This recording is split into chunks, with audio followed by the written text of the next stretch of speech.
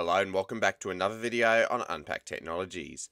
In this video I'm going to be showing you how to make your screen flash to white when an alert sound plays on your Mac.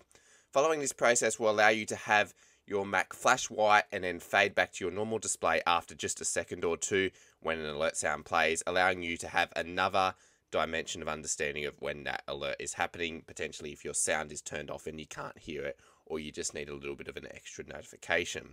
It's a pretty simple process, so let's get straight into it.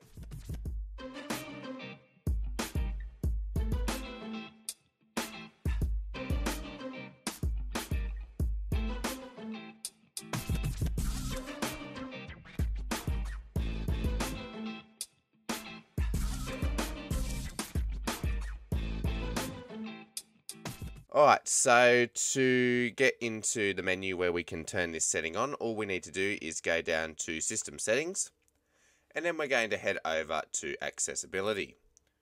Once we're in Accessibility, you can see under Hearing, we're going to click into the Audio pane. And then you can see right at the top, it says Flash to Screen when an alert sound occurs. So if we turn this on, you'll see that if I force an alert sound, for example by trying to quit Finder,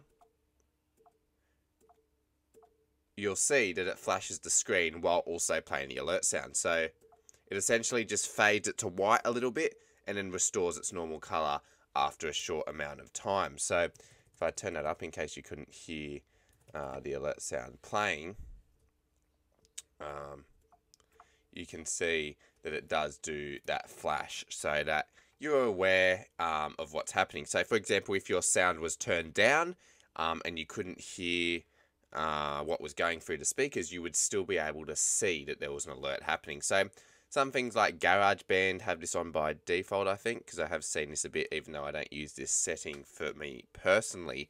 Um, but it just gives you an idea of like if you click something similar to how window on Windows the window flashes. Um, on here you can have the whole screen flash just to help you know when that alert is happening.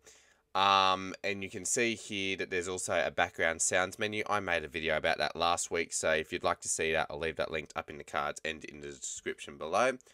Um, and you've got another setting here, play stereo audio as mono, if you would like that as well. But the um, this is just the only setting that you need to turn this on. It's really simple, probably one of the easiest videos I've made, but it can be a really helpful tutorial um, for uh, you if you would like that extra flash just to give you um, more knowledge uh, of what is going on in that situation on your Mac in case the sound is turned down or it might be hard to hear or you just want to see that visually. Uh, that can be really helpful. So yeah, thanks for watching this video on Unpacked Technologies. Hopefully this was helpful and you've had some great success in making the screen flash when an alert sound occurs on your Mac and it just helps your workflow a little bit if you've got your sound turned down or you just want to see that visually when an alert sound occurs.